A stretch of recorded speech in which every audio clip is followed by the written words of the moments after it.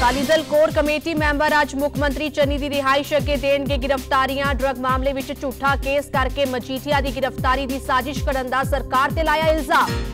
ਮੁੱਖ ਮੰਤਰੀ ਤੇ ਸੁਖਬੀਰ ਸਿੰਘ ਬਾਦਲ ਦਾ ਵੱਡਾ ਹਮਲਾ, ਕਿਹਾ ਚਰਨਜੀਤ ਸਿੰਘ ਚੰਨੀ ਆਮ ਆਦਮੀ ਹੋਣ ਦਾ ਕਾਰਨ ਨੇ ਡਰਾਮਾ। ਰੋਪੜ ਤੇ ਮੁਹਾਲੀ ਦੇ ਸਭ ਤੋਂ ਵੱਡੇ ਨਜਾਇਜ਼ ਬਿਲਡਰ ਮਾਫੀਆ ਨੇ ਚੰਨੀ।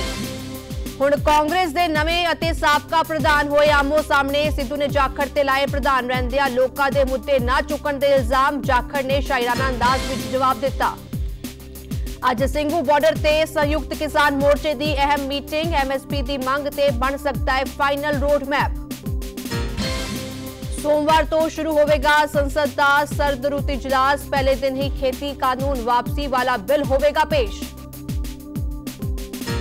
ਅੰਮ੍ਰਿਤਸਰ ਵਿੱਚ ਟੈਲੀਫੋਨ ਐਕਸਚੇਂਜ ਨੇੜੇ ਬੱਚਿਆਂ ਨੂੰ ਲੈ ਕੇ ਦੋ ਗੁੱਟਾਂ ਵਿਚਾਲੇ ਝਗੜਾ ਹੋਇਆ, ਜਮ ਕੇ ਚੱਲੇ ਇੱਟਾਂ ਵੱਟੇ ਤੇ ਗੋਲੀਆਂ।